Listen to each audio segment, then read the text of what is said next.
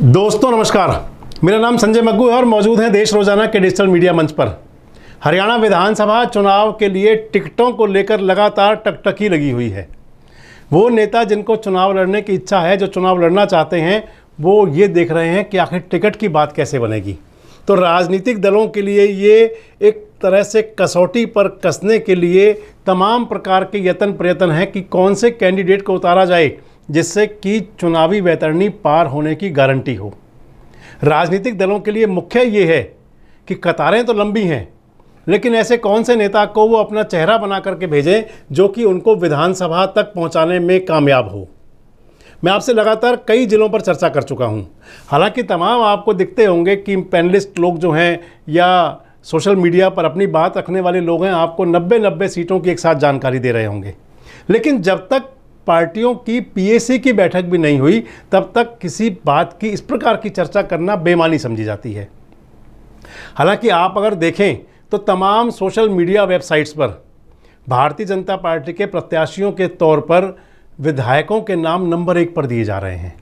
लेकिन दूसरी तरफ़ वही भारतीय जनता पार्टी है, जिसमें ये कहा जा रहा है कि विधायक और मंत्रियों के 50-60 परसेंट तक टिकट काटे जा रहे हैं। अगर 50-60 परसेंट टिकट कटने हैं तो इसका मतलब 20 से 25 टिकट कट सकते हैं। यानी कि 20 से 25 नए चेहरे हो सकते हैं उन विधायकों में। तो आखिर फिर कौन से लिहाज से बता दिया जाए? इसलिए हम आपसे चर्चा किया करते हैं जिला वाइज। हम आपको बताते हैं कि कौन से ज़िले में क्या स्थिति बन सकती है। मैंने आपको पिछले दिनों गुरुग्राम के बारे में बताया था, मैंने आपसे कल के वीडियो मैंने आपको बताया था कि फरीदाबाद में पाँच का पंच कौन सा हो सकता है। और आज के वीडियो में आपसे बात करूँगा कि पलवल की चार विधानसभा सीटें, हालाँकि पलवल में तीन आती हैं, लेकिन मैंने कई वीडियोस में आपसे कहा है कि प्रथला को मैं रूरल मानते हुए हमेशा पलवल में जोड़कर चलता हूँ। तो पलवल की चार विधानसभा सीटें, पलवल, हथीन, होडल और पृथला इन चार विधानसभा सीटों पर ऐसे कौन से चार महारथी हो सकते हैं? भाजपा और कांग्रेस के, जिनसे किसी चमत्कार की उम्मीद दिखाई दे। और आपसे इसी बात को लेकर के मैं चर्चा में हूँ। इस वीडियो में आगे बढ़ने से पहले आपसे मैं एक बात ज़रूर बताऊँगा कि आज हरियाणा के अंदर तमाम राजनीतिक सर्वे, तमाम राजनीतिक जो एनालाइज करने वाले लोग हैं, वो ये कहना चाहेंगे कि भारतीय जनता पार्टी की एंटी इनकम्बेंसी है। तमाम पॉलिटिकल एनालाइज आपको ये बताते दिखेंगे कि हरियाणा में भाजपा की हवा खराब है। लेकिन इसके बावजूद अगर आप देखें तो भारतीय जनता पार्टी को अपने प्रत्याशी तय करने में पूरा एडी चोटी का ज़ोर लगाना पड़ रहा है। आप ये मान करके चलें कि भारतीय जनता पार्टी की एक एक सीट पर दो दो, चार चार, पाँच पाँच, आठ आठ, दस दस तक लोगों के नाम हैं। लेकिन अगर कांग्रेस की बात करें तो कांग्रेस काफ़ी हद तक अपने चेहरे लगभग लगभग तय करती जा रही है। और कुछ ऐसी स्थिति लगभग पलवल की है। अगर मैं आपसे पलवल ज़िले की बात करूँ तो पलवल ज़िले की प्रथला सहित चार विधानसभा सीटों पर जो कांग्रेस के चेहरे हो सकते हैं, जिन पर लगभग लगभग मोहर लग चुकी हुई है। उन नामों के अंदर अगर होडल विधानसभा की बात करें तो होडल में कांग्रेस के प्रदेश अध्यक्ष चौधरी उदय भान का नाम कांग्रेस प्रत्याशी के तौर पर तय है। यहाँ किसी दूसरे नाम की चर्चा भी नहीं है।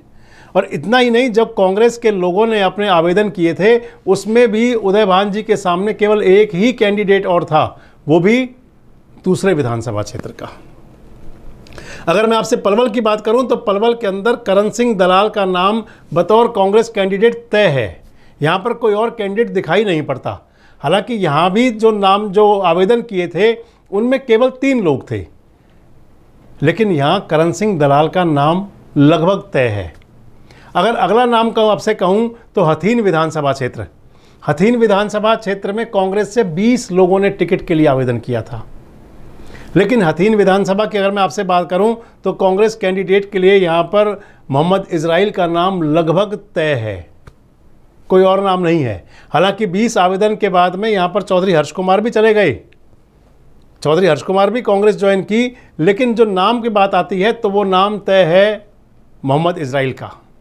अगर मैं आपसे प्रथला की बात करूँ तो प्रथला विधानसभा में भी 20 लोगों ने टिकट के लिए आवेदन किया।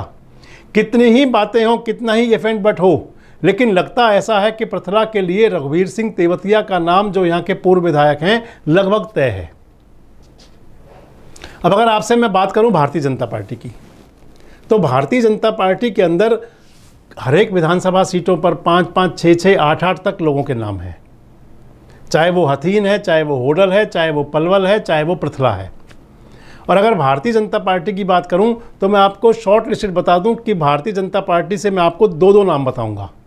और आप मान करके चलिएगा कि उन दो में से कोई एक नाम लगभग तय हो सकता है।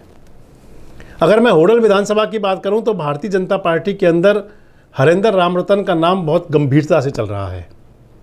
केंद्रीय राज्य मंत्री कृष्णपाल गुजर के भी नज़दीक हैं और उन्होंने 2014, 2019 और अब 2024 2014 में हरेंद्र के पिता चौधरी रामरतन को टिकट मिला था भारतीय जनता पार्टी का वो चुनाव हार गए थे।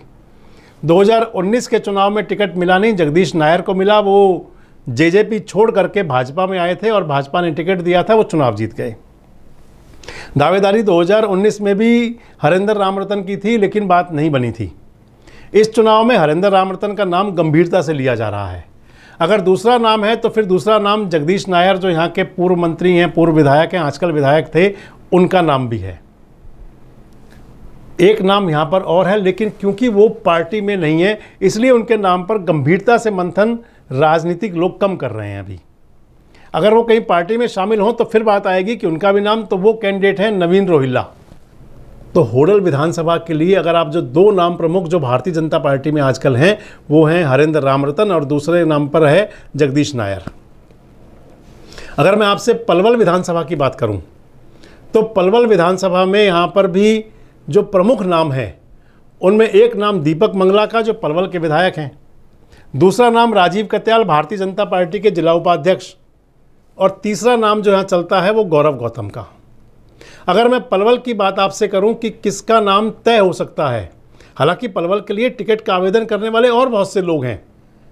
गुजर समाज से सतबीर पटेल हैं, संजय गुजर हैं, इसके अलावा राजेंद्र बैसला हैं, यहाँ पर और नाम लें तो फिर बीरपाल दीक्षित ब्राह्मण समाज से हैं, कंवर हरेंद्र पाल सिंह राणा, डॉक्टर हरिंदर राणा वो राजपूत समाज से हैं, लेकिन जो प्रमुख नाम जो हैं, जिन पर चर्चा ज़्यादा है उन नामों के अंदर दीपक मंगला, राजीव कत्याल, गौरव गौतम। अगर गुजर समाज से आए तो सतबीर पटेल। अगर आप बात कर चलें कि किसका नाम प्राथमिकता पर है तो दीपक मंगला के साथ एक बात चल रही है कि उनके साथ जोड़ा जा रहा है कि उनकी एंटी इनकम्बेंसी कहीं है।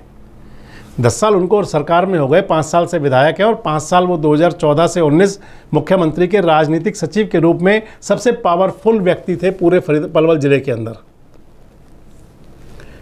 दीपक मंगला के साथ एक बात और चली आ रही है। भाजपा के एक बड़े नेता मुझसे कल टेलीफोनिक बातचीत भी कर रहे थे कि बड़ी संख्या में लोग बीजेपी छोड़ रहे हैं, उसका इम्पैक्ट भी है। अब अगर मैं अगला नाम आपसे लेता हूँ तो फिर गौरव गौतम का नाम आपसे कहें तो गौरव गौतम के साथ एक बात ये आ जाती है कि लगभग दो कैंडिडेट्स के नाम बड़े गंभीरता से हैं फरीदाबाद के अंदर। यानी कि फरीदाबाद लोकसभा जिसका हिस्सा पलवल भी है तो उसके बाद फिर यहाँ पलवल में विचार होगा, इस पर सोचना होगा। जो मैंने सतबीर पटेल का आपको नाम लिया तो उसमें भी सब, सबसे बड़ी बात यही है कि फरीदाबाद के अंदर दो गुजर कैंडिडेट्स के नाम बड़ी गंभीरता से हैं, तेगांव और फरीदाबाद एनआईटी अगर ऐसा होगा तो फिर पलवल में गुजर कैंडिडेट आएगा ऐसा लगता बड़ा मुश्किल है। भारतीय जनता पार्टी नए चेहरे की तलाश में है तो क्या वो नया चेहरा राजीव कत्याल हो सकते हैं? इस पर भी पूरा गंभीर मंथन है। तो आप माने दो नाम मैं इसमें आपको गंभीरता से कह रहा हूँ, कि दीपक मंगला और राजीव कत्याल। अगर अगली विधानसभा की बात करें तो आपसे अगली विधानसभा है हथीन। हथीन विधानसभा में हमेशा लड़ाई रहती है। रावतपाल, डागरपाल डागरपाल, रावतपाल। अब की बार सहरावतपाल भी खूब दावेदारी कर रही है। लेकिन यहाँ के जो राजनीतिक सूत्र बता रहे हैं कि जो नाम गए हैं, पैनलिस्ट पैनल में जो नाम गए हैं, उन नामों के अंदर जो प्रमुख नाम है, एक तो हथीन के विधायक प्रवीण डागर। दूसरा हथीन के पूर्व विधायक केहर सिंह रावत और तीसरा नाम बताया जा रहा है, जिला परिषद की जो चेयरपर्सन है आरती रावत, उनके पति। मनोज रावत। यानी कि दो नाम रावतपाल के और एक नाम डागरपाल का। और जिस नामों पर गंभीरता से बात चल रही है, मैं आपसे फिर वही कहूँगा कि आप उसे सीनियर वाइज, सीरियल वाइज ले लें। परवीन डागर, मनोज रावत और केहर सिंह रावत, इन नामों पर गंभीर मंथन है। रावतपाल में आते हैं तो फिर केहर सिंह मनोज रावत या मनोज रावत और डागरपाल में आते हैं तो परवीन डागर। अगर आपसे मैं प्रथला की विधानसभा की बात करूँ तो प्रथला विधानसभा में भी भारतीय जनता पार्टी की टिकट चाहने वाले बहुत सारे लोग हैं। बेशुमार नाम है फरीदा प्रथला विधानसभा की टिकट चाहने वालों में। लेकिन जिन नामों पर गंभीरता से मंथन है, उन नामों में आप लेकर के चलें तो टेकचंद शर्मा यहाँ के पूर्व विधायक, जिन्होंने 2014 में बसपा से विधायक बनके मनोहर पार्ट वन की सरकार को समर्थन दिया और दूसरा नाम यहाँ पर आता है दीपक डागर। जाट समाज से आते हैं। हालाँकि नाम यहाँ पर राजपूत समाज का भी चलता है। नैनपाल रावत यहाँ के विधायक हैं। निर्दलीय विधायक चुने गए थे और निर्दलीय विधायक बन करके उन्होंने समर्थन दिया भारतीय जनता पार्टी की सरकार को। मनोहर पार्ट टू की सरकार में भी और नायब सिंह सैनी जब मुख्यमंत्री बने, उनके साथ भी लगातार कदम ताल करते चले आ रहे हैं नैनपाल रावत। पिछले दिनों उन्होंने कार्यकर्ता सम्मेलन भी किया था और भाजपा के अंदर एक थोड़ी सी बात भी है। लेकिन अगर मैं ये कहूँ कि जिस कैंडिडेट पर मोहर लग सकती है तो फिर वही बात आ जाएगी कि अगर गैर जाट से लेते हैं तो उनमें टेकचंद शर्मा प्रभावी दिखाई देते हैं और जाट समाज से लेते हैं तो दीपक डागर प्रभावी दिखाई देते हैं। अगर आपसे मैं सीधे सीधे बताता चलूँ कि पलवल ज़िले का चार का चमत्कार क्या हो सकता है तो कांग्रेस के कैंडिडेट तय हैं। रघुवीर सिंह तेवतिया प्रथला, करण सिंह दलाल पलवल, चौधरी उदयभान होडल और मोहम्मद इजराइल हथीन। और अगर भारतीय जनता पार्टी की नाम बात करूँ, नाम मैंने आपको सारे गिनवाए, लेकिन शॉर्टलिस्ट करके मैं आपको दो दो नाम बताता चलूँ। प्रथला से टेकचंद शर्मा और दीपक डागर में से कोई। अगर आगे चलें तो पलवल के अंदर दीपक मंगला और राजीव कत्याल। अगर अगली सीट पर आएँ होडल में तो होडल में हरेंद्र रामरतन और जगदीश नायर। और अगर हथीन में आएँ तो हथीन में प्रवीण डागर और मनोज रावत या केहर सिंह रावत। कमेंट्स बॉक्स में आप ज़रूर बताएँ कि आप हमारी बात से कितना सहमत हैं। इस प्रकार के वीडियोस अपडेट्स के लिए लगातार हमारे साथ जुड़े रहें। देखते रहें देश रोज़ाना। हमारे साथ जुड़े रहने के लिए सब्सक्राइब करें देश रोज़ाना के यूट्यूब चैनल को और नई वीडियो की नोटिफिकेशन पाने के लिए बेल आइकन ज़रूर दबाएँ। अगर आप ये वीडियो फेसबुक या इंस्टाग्राम पर देख रहे हैं तो पेज को लाइक और फॉलो ज़रूर करें और ज़्यादा से ज़्यादा शेयर करें।